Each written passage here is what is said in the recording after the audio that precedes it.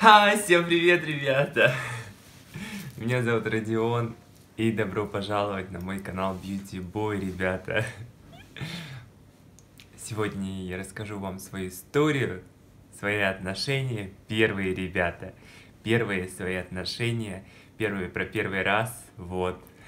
Первая любовь, 18 лет, когда я был молод, хорош и свеж.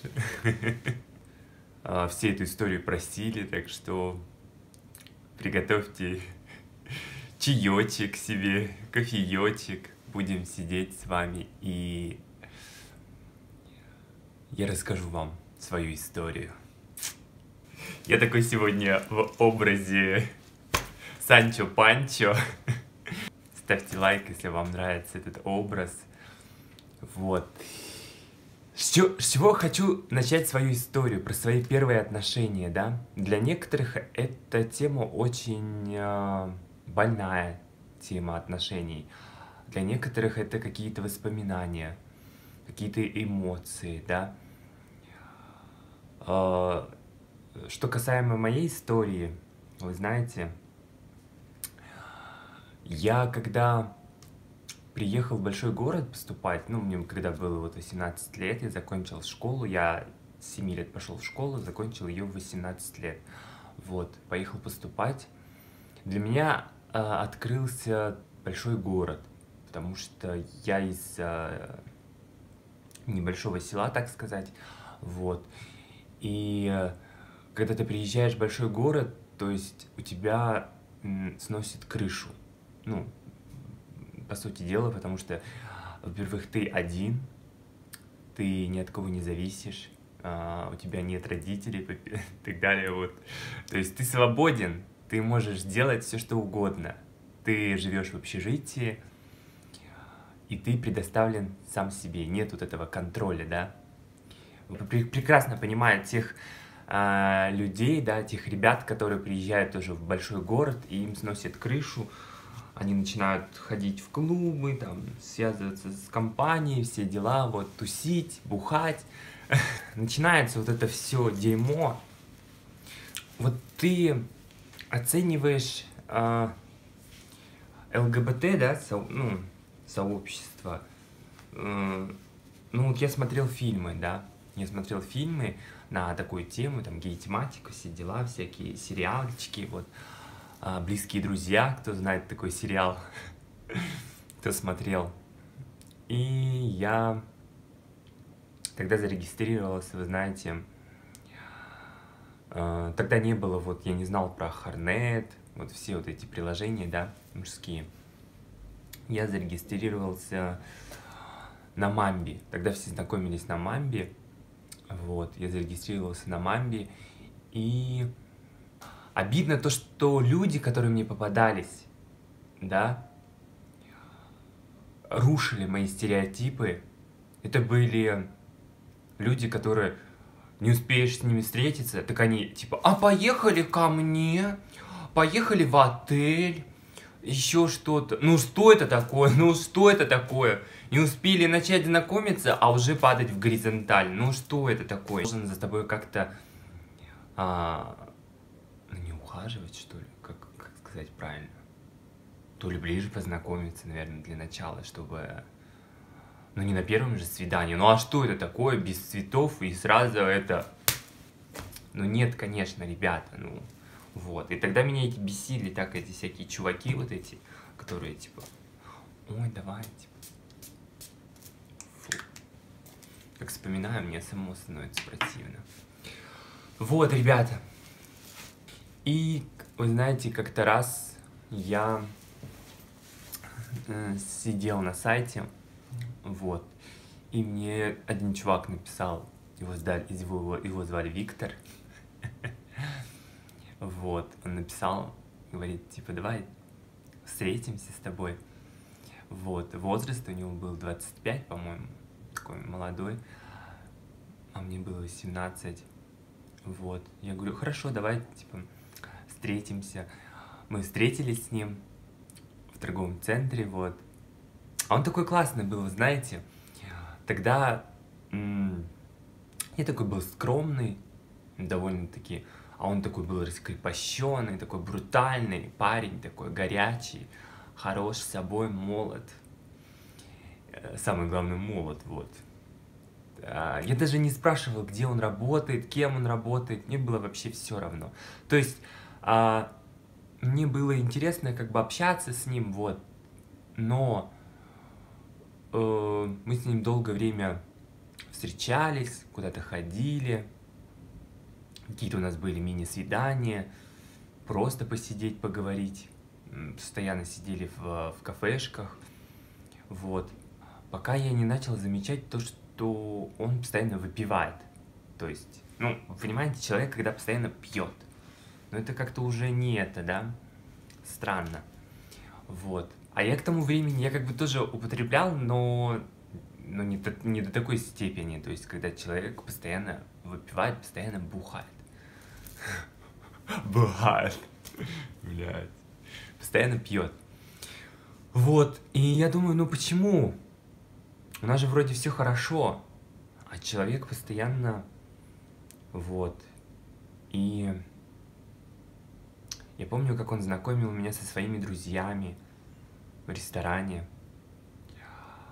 Позвал меня как-то один раз с общежития, вытянул меня. Он говорит, вот, приходи, мы тут с друзьями в ресторане сидим и так далее.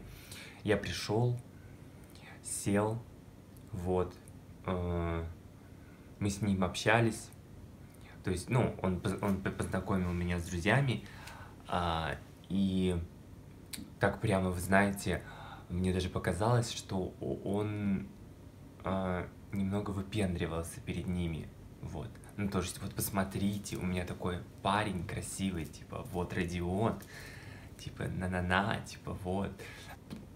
Я тогда ушел, я тогда ушел от него ресторана, потому что мне не нравилась эта компания, не нравились эти мужики какие-то, сидеть с ними, что-то с ними слушать, какой-то, какой-то, знаете, не моя, как бы сказать, не моя атмосфера, вот.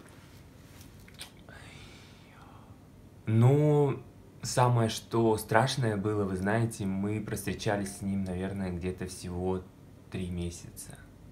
Три месяца, наверное, ребята. Мы встречались с ним три месяца. А за эти три месяца, наверное, я пережил на самом деле очень много, если я сейчас буду вспоминать. Никогда бы не подумал бы, вы знаете, что человек может мне угрожать в отношениях. Вот вы понимаете, вот когда говорят, да, типа, женщина встречается с мужчиной, да, когда муж, муж ее бьет и так далее, типа, и я никогда подумал бы то, что мне, мне как-то будут грозить, то есть у меня как раз, у меня как раз попался тот персонаж, тот быдло-мужчина, быдло-мужчина, который покорил мое сердце тем, то, что он такой весь брутальный, типа крутой, вот, но он был быдло. Вот, плюс алкаш. Последние капли, вы знаете, в отношениях за три месяца вот стало... Я помню, мы собрались в клуб, вот, то есть с друзьями, я без него. То есть мы тусили классно так в клубе, и он пришел э, такой выпивший, пьяный, и так далее, и начал мне что-то доказывать, э, кричать на меня, и так далее. А, плюс он заигрывал там с какими-то мальчиками другими, короче, это вообще отдельная история. Но мне было, мне уже тогда было все равно. Ну, как бы, э, окей, для меня это как бы не... Ну, то есть у меня не было такого прям ревность-ревность. Я вообще... У меня не было такого, вот. Пусть, боже мой, заигрывает, так заигрывает. Вот. Но при этом он постоянно следил за мной. То есть как маньяк, вы понимаете? Э, что я делаю, с кем я сижу, с кем я разговариваю, вот. И постоянно всем говорил, вот, это мой парень, это мой парень, это мой парень. Наверное, все знали, что я, наверное, с ним. Вот все, наверное, знали. Человек-собственник. Вот есть такое понятие, когда человек тобой, ну, как бы собственник, да. А, и тогда мы с ним начали выяснять отношения, я помню, из, из-за какой-то ерунды. Вот. И он был очень агрессивный. Он в тот вечер был очень агрессивный, наверное. Он меня чуть не ударил, наверное, да. Даже дело не дошло чуть не до драки. Вот. И я тогда понял то, что нет. Мне тогда пришлось уйти с вечеринки, потому что я просто понял, что нет, человек просто не в адеквате. Человек настолько не в адеквате, я думаю, все, мне нужно, мне нужно бросать его и как бы и уходить, потому что если я останусь с ним, то либо меня покалечит, либо так далее, еще что-нибудь. Вот. Поэтому не особо хотелось, ты знаешь, типа. И я тогда уехал в общежитие, и тогда этот человек долго меня преследовал, он постоянно караулил меня возле общежития, а, караулил меня возле академии, хотел со мной как-то всячески поговорить, вот. Потом он мне написал э, смс о том, что он уезжает. Он уезжает в другой город, и долгое время предлагал мне поехать с ним, то есть говорит мне, типа, бросай учебу, бросай учебу, поехали вместе, будем жить вместе, типа, как семья, я все, я исправлюсь, типа, я брошу пить и так далее, я же тебя люблю и так далее. Я, знаешь, он как будто объяснял какой-то тупой блондинке. Вот. Конечно же нет. Я же не дурак, чтобы бросать свою учебу ради какого-то прыща и ехать неизвестно куда, да. Э, и для меня учеба была все-таки важнее, чем к тому же человек был полностью неадекватен. Да даже бы, если бы, ребята, нашелся бы у меня на то время, да, какой-то человек, который безумно бы, я в него был бы влюблен, и у нас были бы очень высокие отношения, и он бы сказал мне, бросай учебу, поехали в Москву. Я бы не бросил учебу никогда, потому что для меня учеба это было обязательно. Вот то есть это как, вы знаете, я должен выучиться. Это не просто так. Вот. Поэтому, поэтому я сказал ему аривидерчи, он уехал. И через год, наверное, он обратно вернулся на время. Захотел со мной встретиться, Тогда я с ним обратно встретился.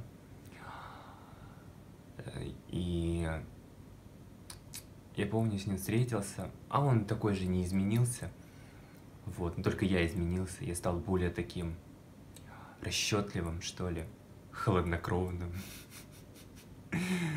И он мне начал говорить такие вещи о том, что, ой, как ты выглядишь плохо, типа, ты без меня вообще как-то скатился вот ты такой, типа, со всеми, наверное, уже здесь перетаскался. В общем, начал меня, короче, срать по полной.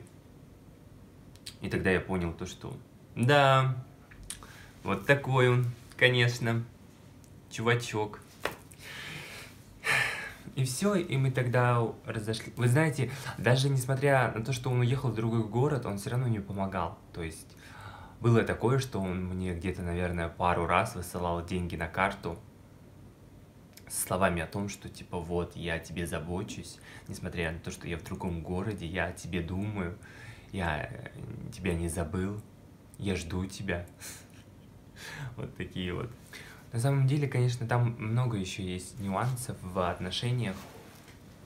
Первые отношения, ребята, никогда не забываются, что самое интересное. То есть несмотря как бы, какой бы человек плохой не был бы, да, какой бы он говно не был. Но первые отношения, первая любовь, все эти чувства, первые, они никогда не забываются, и бывают моменты, когда ты вспоминаешь о них и думаешь, боже, как все красиво было, а потом так возвращаешься и говоришь, нет, Роди, включи свою голову. Вот и построить серьезные отношения, это очень сложно, ребят. Это, вы знаете, это ты можешь пробыть человеком и никогда не узнать о том, а надо ли ему это, или а получится ли что-нибудь. А время идет, часы тикают, ты никогда не узнаешь это меня больше всех, больше всех меня всегда волнует, пугает в отношениях. Вот. И если я буду перебирать э, какие-то просто знакомства, да, свои за все четыре года, вот так. Но не было, ребят, реально, не было хороших парней, не было достойных, не было тех самых а, таких классных. Всегда была какая-то, вы знаете, невзаимная любовь, вот, невзаимные чувства. Когда ты человеку, когда он тебе нравится, а ты ему нет. Вот. Ребят, к чему клоню? К тому, то, что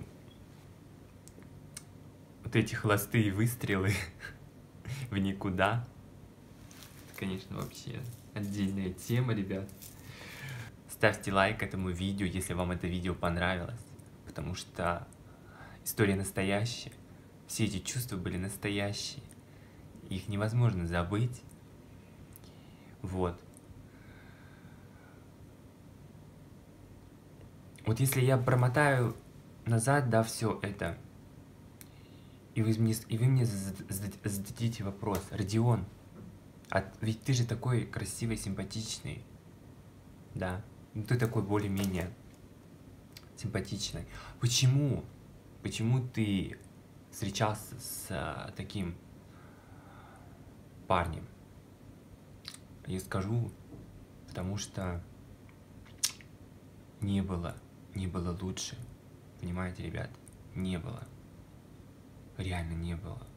Вот, то есть, э, если я буду проматывать все какие-то знакомства, были какие-то одни из... Даже не хочу говорить. Вот. Поэтому, ребята, я вас всех очень сильно люблю.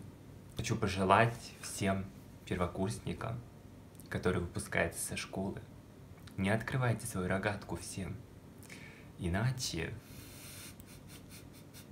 Окей, не рогатку. Что я такое говорю-то? Между дети смотрят. Не распыляйтесь на всех, не пытайтесь, не живите какими-то а, вот этими иллюзиями о любви. А, будьте более... Сначала iPhone 10, а потом поговорим, понимаете? Сначала дело, а потом это самое... Что это такое?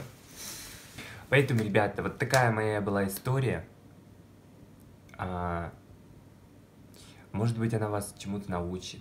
Потому что э, если вы учитесь, не стоит бросать учебу ради любимого человека, потому что э, бывает такое, что, что человек, люди уходят, а вы остаетесь, и вы потом будете жалеть о том, что вот вы можете отдать человеку все, а он вам ничего.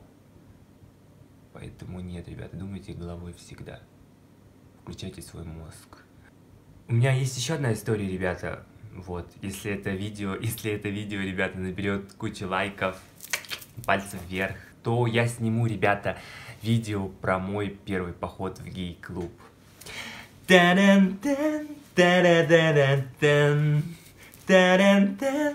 Где я пел песни и танцевал Танцы, танцы, танцы, и сводит музыка с ума. Невыносимо губ твоих касаться, но так хотела я сама. И это все танцы, танцы, танцы. Короче, если с меня отпишутся все люди, скажут, старуха ты. А, вот, первое, первый мой поход э, в клуб, как у меня это было, в девятом классе, как я ездил с, э, в город ради этого. Вот, ребята, видео, видео. Так что, если это хотите, чтобы я снял это видео, мой поход в гей-клуб первый раз, то нажимайте пальцы вверх. Я буду знать, что все эти истории вам интересны, и вы любите такие истории, ребят. Всех вас люблю, всех вас целую. Вот, увидимся в следующем видео обязательно. Подписывайтесь на мой Twitch, на мой Instagram, на мой YouTube канал, ребята. Я вас всех очень сильно люблю. Пока.